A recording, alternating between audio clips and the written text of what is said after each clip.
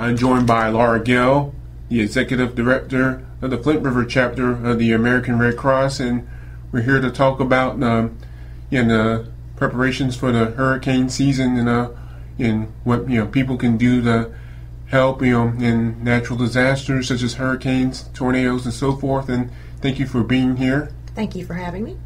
And uh, we're, and as we're uh, speaking, uh, we're coming up on the 20th anniversary uh, very quickly of the you know flood in 1994, and uh, pretty much cut Albany in half, uh, killed well over 100 people.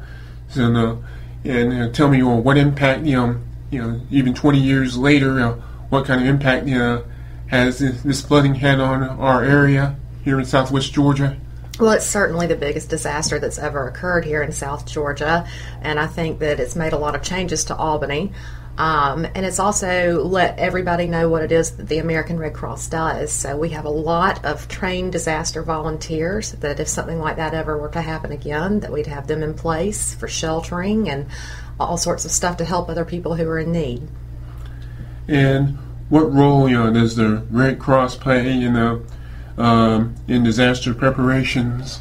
We have trained disaster volunteers, and if people want to become a trained disaster volunteer, they just need to contact their local chapter here in Albany, and we will put them in touch with our volunteer coordinator, and then you take classes on things that interest you, like sheltering, um, disaster preparedness, how to handle yourself in a disaster, how to help others, and so we have these people in place before disaster strikes.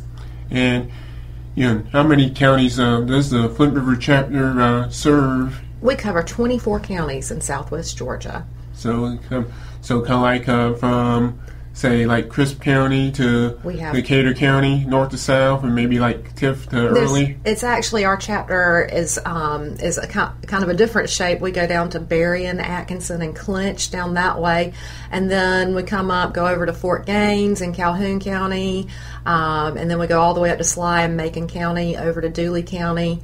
We mm-hmm. have Tifton, um, a large area. Mm-hmm.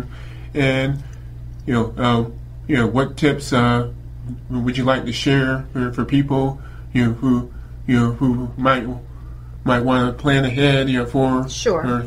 Um, well, for one, I'd like to let everyone know that the American Red Cross has a free hurricane app that you can download on your smartphone. And in it are ways to plan ahead for emergency, what to do during an emergency, and what to do after an emergency. Um, it has a safe and well feature that you can register your, you and your family on. So if you were to suffer from an emergency, you can contact a national registry to let your friends and family know that you're okay. So this app gives you all that you need. But what we encourage everybody to do is to be prepared beforehand, have a plan, and have a kit. If somebody came to your house and said that you need to be evacuated, go ahead and have these things together in a place that you can go to, like your personal papers, a three day supply of water, batteries, a battery operated radio so that people can get in touch with you, a cell phone charger, um, and all the things that your family custom made to keep, to keep your family safe. And uh, is there anything else uh, you would like to add? Uh, we just encourage everyone to go ahead and make a plan beforehand. Um, the Red Cross has apps on floods, hurricanes, fires, first aid, pet safety, and they all give you ways for you and your family to make your family safer.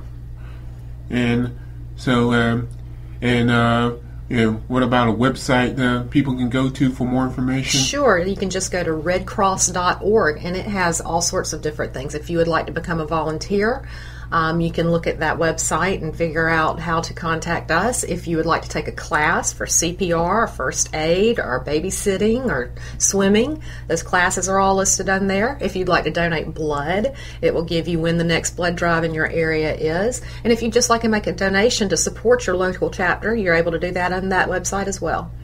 Thank you, Lara Gill, the Executive Director of the Flint River Chapter of the American Red Cross. And uh, thank you for being here today. Thank you.